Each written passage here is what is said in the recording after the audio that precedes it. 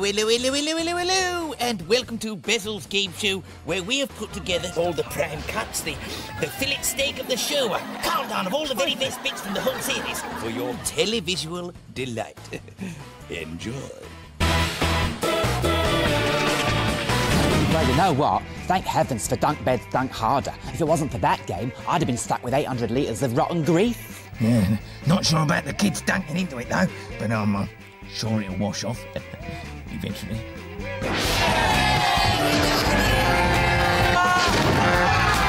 No, Ian. Now that is what I call a gungeon. Do you know what I heard? Apparently, Basil Brush won't go into the guns. He's got, and I quote, a stunt double for that sort of thing. Ooh, stunt double. Hmm. Get him. It's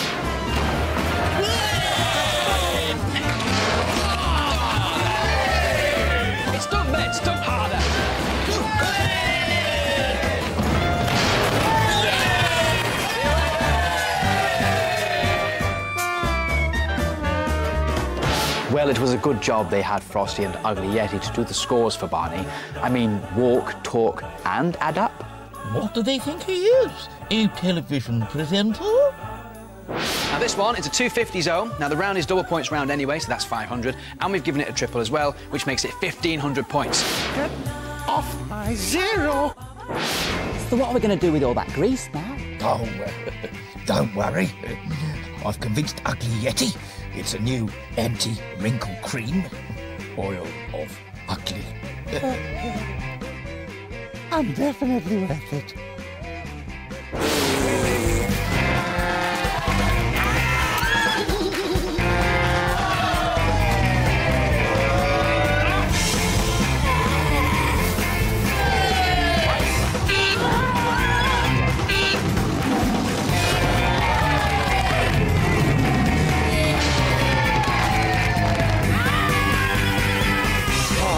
Now that's what I call taking a bed bath. The Tigers want to prove that they're not the scaredy cats. Let's see if they can do it as they go on the pay of the push. Three, two, one, push! Wow, it's a monster push. Come on! They're giving You that know some what, though? I tell you what, it's starting to slow down. This is either going to be the best score. down enough now. Do you know what? It's not going to go in the book. This is just going to be a really good score.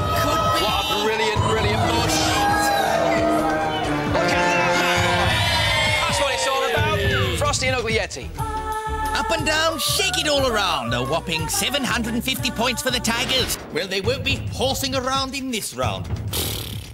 They're going on the pay of the push. Three, two, one, push! Oh my goodness, Oh, that a was a big one. monster of a push. But then again, you know one. that, don't you? You know exactly what's going to happen. Cause you're a wine Come on. because you would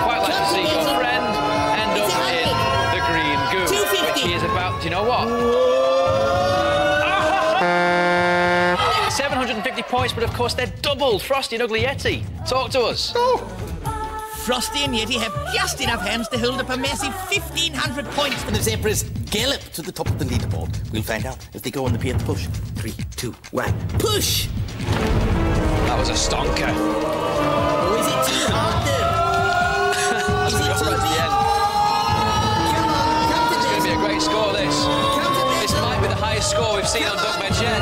This could be the first thousand points. It's going to make it. It's going to make it. Stop, stop, stop. Oh, so unlucky. So near and yet so far. The Zebras take a swim in the gunge, and Frosty and Yeti confirm a score of zero. Can the Bees score enough to go through to round two? Can the Zebras be the main attraction? Find out as they go on the pay of the push. Three, two, one, push! That was a terrible joke from Basil, but it hasn't put you off, has it? No, Come we're doing on, okay it's a good push. It's a big push. This could end up in the 50 zone. It could end up in the 75 the way things are going, which would mean that you are going to get dunked. Having said that, it could go straight past and end up it's good in the 100. It's Is it going to make it into the 100? Is it going to make it? I think you'll find that is well and truly in the dunk zone. I'll see you later.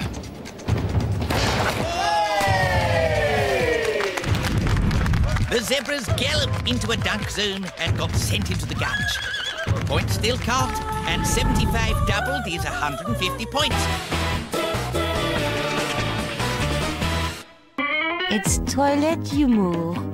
Wait, wait, wait, wait, wait, wait, wait. I say, why did the toilet paper roll down the hill? I don't know. Why did the toilet paper roll down the hill? Because he wanted to get to the bottom. Bum, bum. They told jokes in the loo. It was really funny. I can't remember what it was called though. Um, were it were it lavatory laughter? Uh, I'm afraid that's incorrect, Colin. oh, I'm terribly constipated. Yesterday I sat in the bathroom for hours. Oh, are you taking anything for it? Yes, I normally take a book. Hey, I say, What? Why was the man on the toilet tired? I don't know.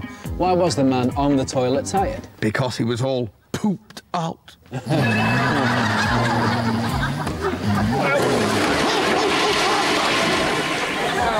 Was it called bog jokes? Hey, Basil, Yes, why did the bottom get a detention? I don't know. Why did the bottom get a detention? He was being too cheeky. Where would you find the toilets on a boat? I don't know. Where would you find the toilets on a boat? The poop deck. Well, I'll avoid that then. Yeah, you better give it 10 minutes. Were it were it restroom giggle? No. I say, who is in charge of security in the toilet? I don't know. Who's in charge of security in the toilet? The police.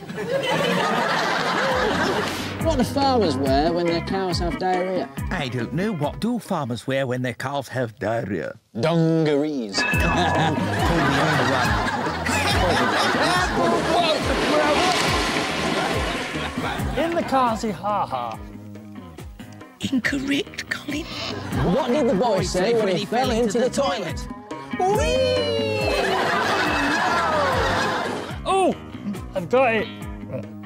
It was humour in a toilet. Yes, Colin, you are getting warmer. Go on, go on, Colin. Humour toilet. It was called humour toilet. I don't believe it. No, Colin, no, no, Zut alors no, no.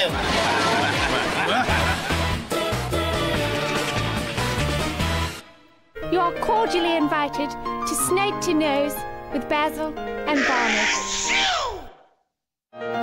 I have never heard such a load of claptrap. Codswallop. You look tired. Oh, really? Don't know why. Slept like a baby. Hmm. You slept badly then. No. No, I slept well. I slept like a baby. You slept badly then.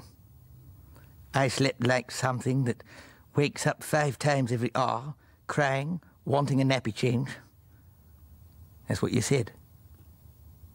Yeah, no, I, no, I, don't cry when I need my nappy changing. What do you do then?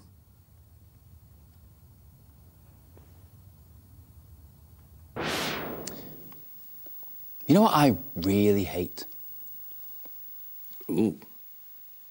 Ooh, let me think. Um, um,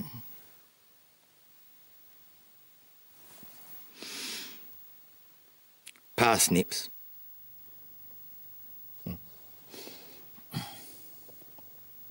Well, yeah.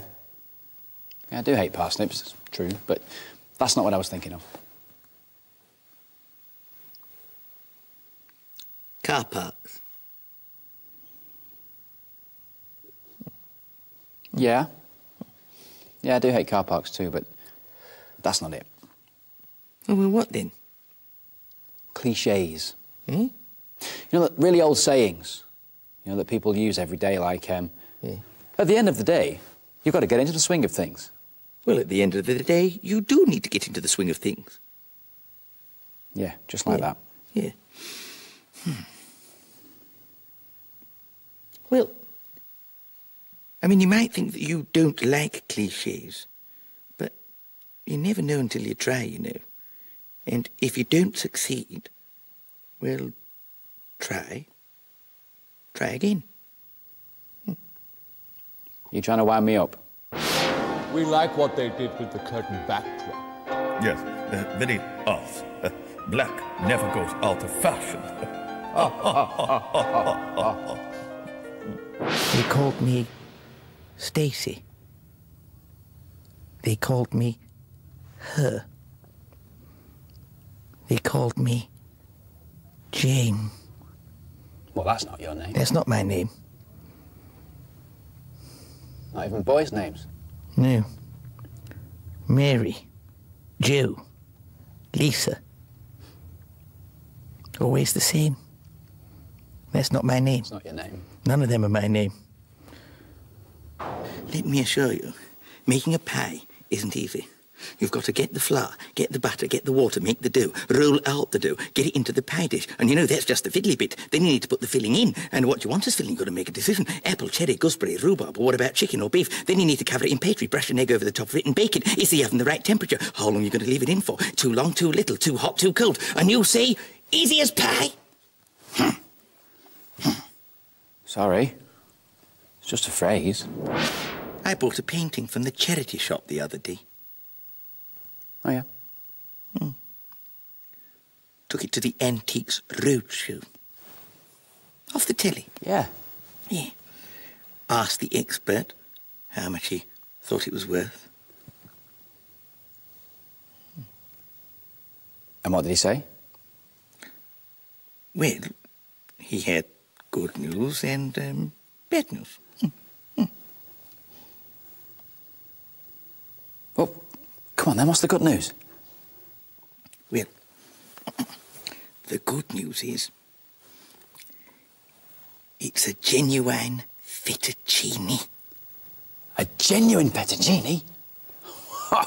Ka-ching! I bet it's worth a packet. Hang on. What's the bad news?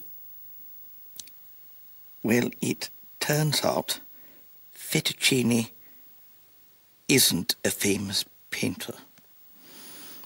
Hmm. Oh. He's not a famous. He's not a famous painter. He's not. He's a plumber.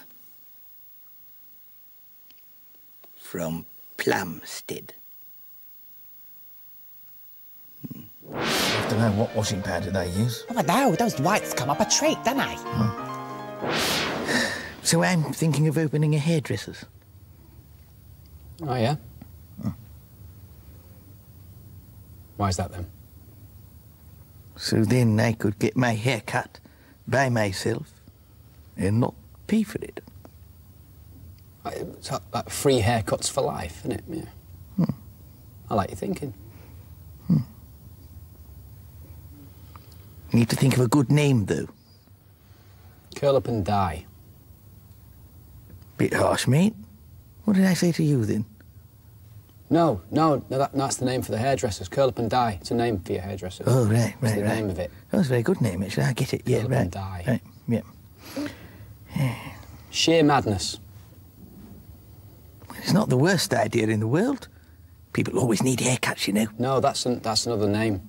Sheer ma- it's like curl up and die is a name, and sheer madness. The na- it's, it's an idea for a name that I'm giving you. I'm, I'm giving you names. Right. Utter drivel. And for that reason, and that reason only, I'm out.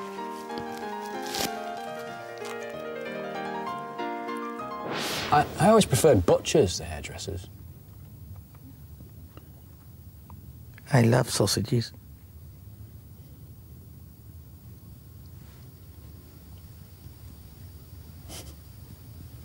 Yeah, me too.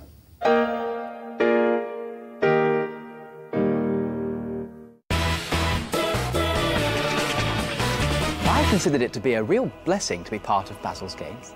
And rum! Oh, look at me go!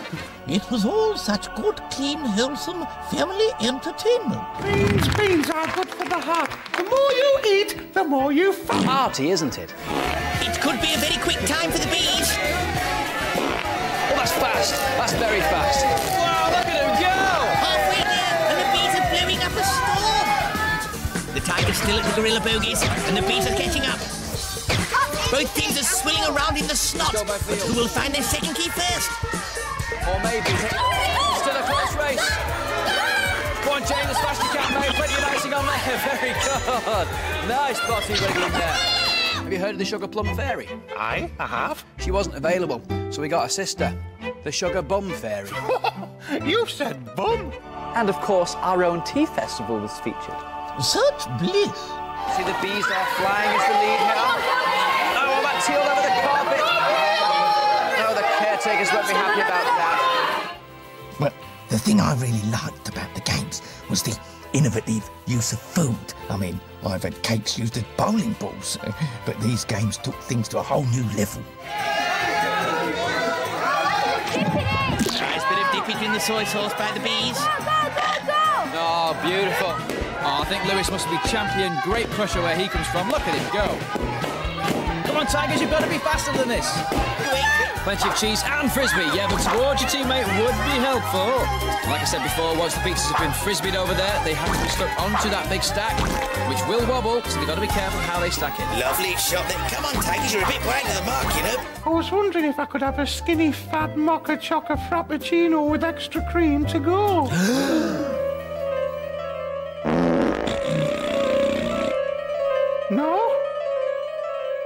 Suppose I'll just have more tea, Vicar. Ah, good morning, ladies and jelly spoons. Buongiorno. Think about it. Welcome to Basil Brush's infamous Around the World in 30 Seconds tour. Barney, What? what's a vampire's favourite fruit? A nectarine. Yes, you're right.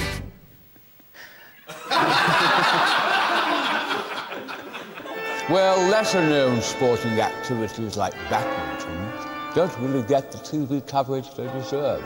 Absolutely. In my opinion, they should be on the Sport Channel 24 7. Yes, we could watch them all night.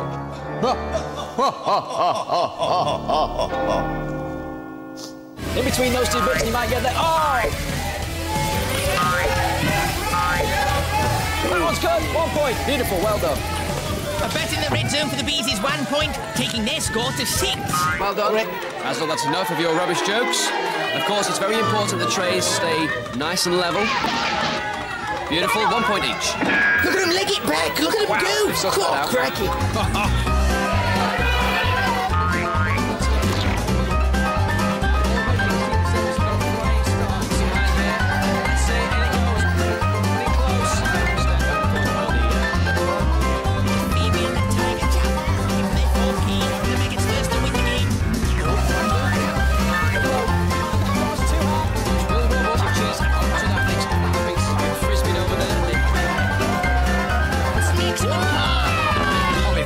ourselves a game.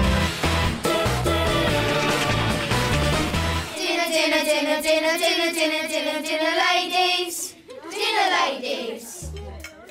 If I had to mark the dinner ladies uh, for the service, um, you, I'd mark them a you, and, uh, and that's being generous.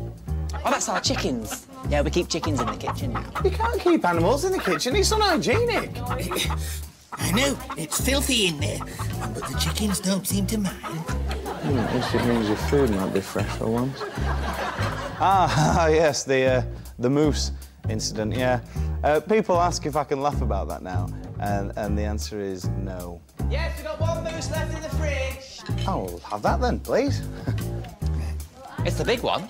Ah, really peckish. Please, just give me the moose. Okay, customer's always right. Come on. Well, Kate, ready? Oh, got moose in here. Ah, it's bigger than your belly. Even watching tennis at Wimbledon brings me out in a cold sweat.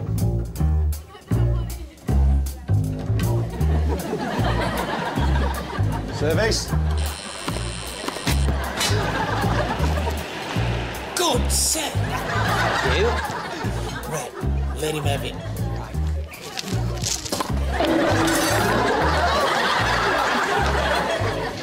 Juice?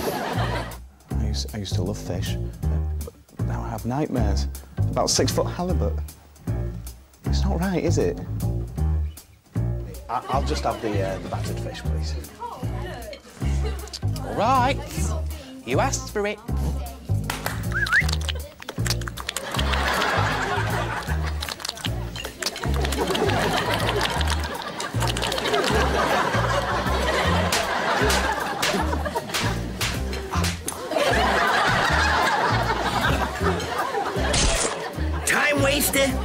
I bring in a packed lunch now.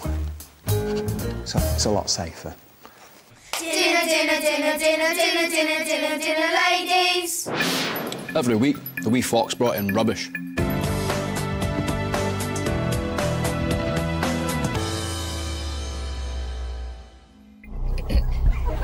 I'm Basil Brush, and I'm looking for 60 million pounds.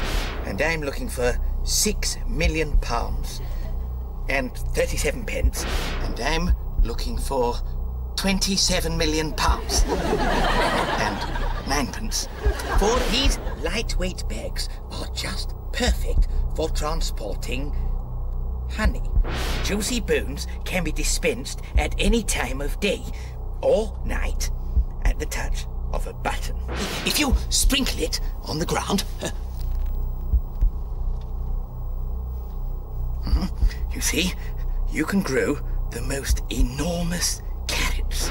But there was always one muppet who would stump up the cash.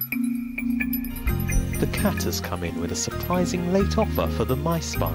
Oh, fantastic! Brilliant news! Oh, that's great news! Surprisingly, Frosty has invested in the snowball making machine. Brilliant news! The bee has come in with a surprising late offer for the honey bag belt. Oh, brilliant news! Thank you so very much. That's brilliant. Oh, oh, oh. I only did it for the catering. That was top notch. Banana. Hmm, trifle. Hmm, eclair.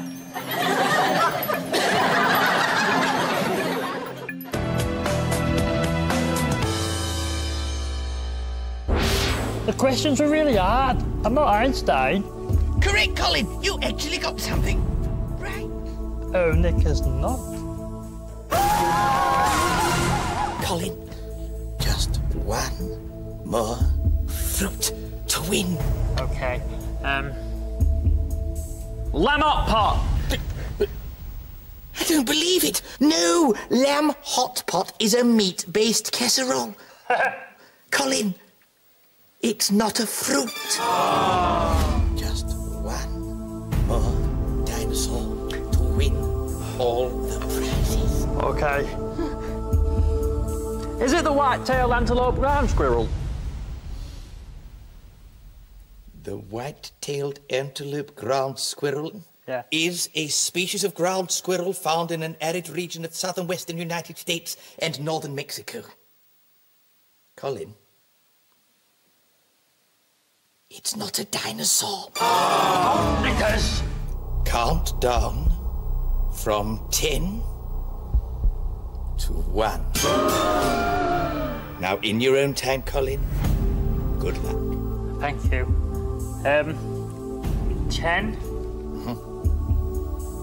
Nine. Very good. Eight. Seven. Uh, six. Now, Colin, take your time. Oh, um, uh, oh, uh, uh, five. Well done. Uh, four. Very good. Um, three. Two. Colin, you are almost there. All those prizes could be yours. Just one more. Seventy-three. Oh no, Colin! I don't believe it. That's wrong, Colin. Oh, because seventy-four. No, bad luck, Colin. You were so close to winning all the prizes. Say goodbye, Colin. Goodbye. Colin. Is it hundred and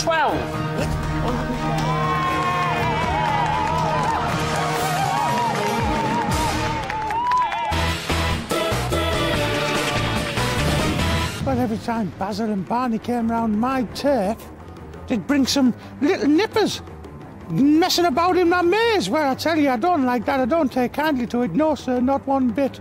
So I'd chase them with my net, and then I'd say, Get out! Get out! Don't make me stamp and shout! Oh! Who's the winner? Me. Ugly Yeti is on form today. She's flying through the maze. You need to get those blue eggs into the escape hatch, otherwise she's going to catch you. Oh! If you see me, you'd best start to flee. Oh, it looks like it's going to be over. Oh! Going boo-hoo when I net you. Some of those kids were good. No messing about. Literally, straight in, really fast, and got the job done. Okay, quick, put them in, put them in, put them in, quick, quick. quick it goes in, the escape hatch will open. They will leave with three prizes and the star prize. Are they going to do it? Is Yeti going to catch them? Absolutely brilliant! Ah, well. Those kids, you know, I mean, they were the lucky ones. But you can't blame me for trying to get them out of my maze, you know. I mean, some of them were so rude. You foul, evil little monster. You may look soft and snuggly, but underneath you're very ugly.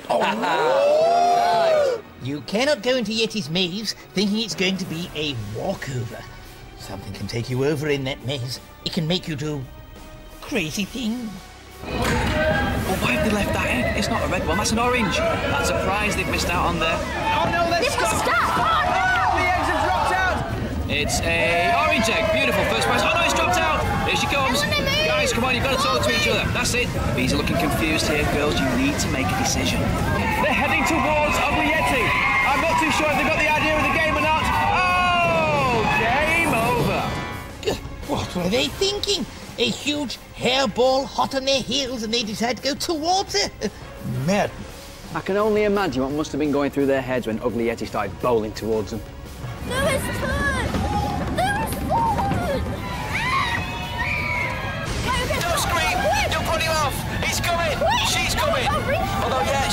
Like a heat. Quick!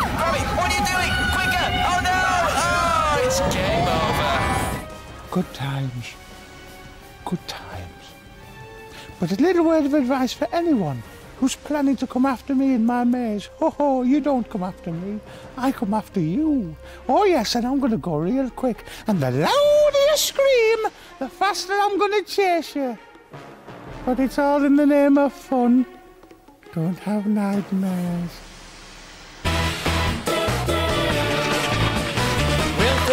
Sadly, that's the end of the show. But I'm pleased to say no Yetis were harmed in the making of the programme.